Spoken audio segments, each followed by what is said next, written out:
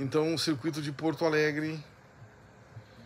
Tem uma pista, duas pistas. Mostra os carros, filho, que tem ali.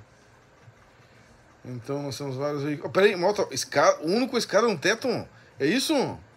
Incrível. O Miura Targa. Mostra aí se tem um Miura Targa aí. Esse aqui é o Miura Targa.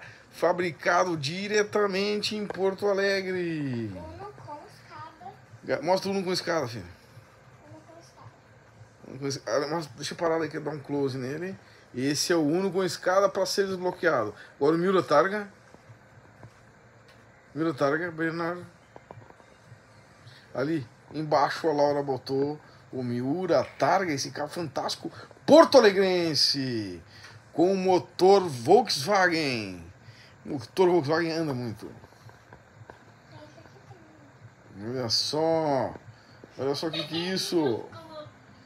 Isso é um carro, só pode ser um Fiat. Deve ser um Fiat. Eu acho. Muito bem.